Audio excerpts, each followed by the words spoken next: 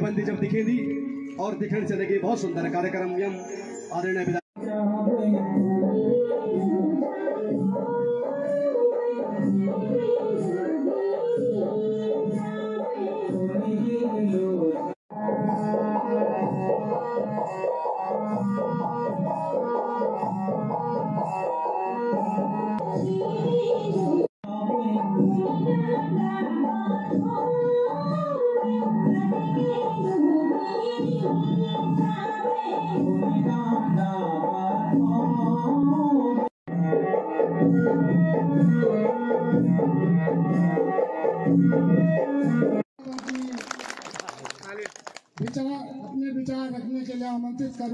हमारा गाँव अगर आप देखें तो काफ़ी बसावट है